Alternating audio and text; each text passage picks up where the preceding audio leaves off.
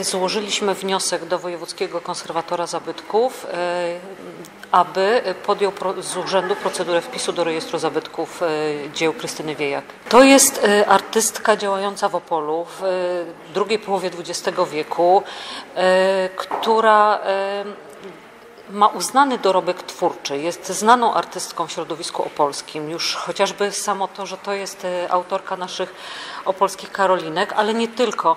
E, Poprzez też e, jak gdyby swoje doświadczenie i całą działalność była związana z wieloma obiektami na terenie województwa opolskiego. Jest autorką polichromii nie tylko w tym szpitalu, ale także wielu innych. To, to jest autorka z grafit, malowideł, czy tutaj w Urzędzie Wojewódzkim w Opolu, czy chociażby z grafita na, na ścianie budynku w Kluczborku, więc tych e, takich obiektów jest bardzo dużo. E, W Opolu i na Opolszczyźnie mamy jeszcze problem, żeby zinwentaryzować i opisać e, działalność twórców e, opolskich. To jest taka rzecz, która wymaga na pewno opracowania i e, myślę, że te działania teraz pierwsze, czyli podjęcie decyzji, mam nadzieję, że taką decyzję konserwator podejmie o wpisie do rejestru zabytków tych malowideł, zwróci uwagę na ten temat, aby te, te działania mm, plastyczne, artystyczne w, obszarze architektury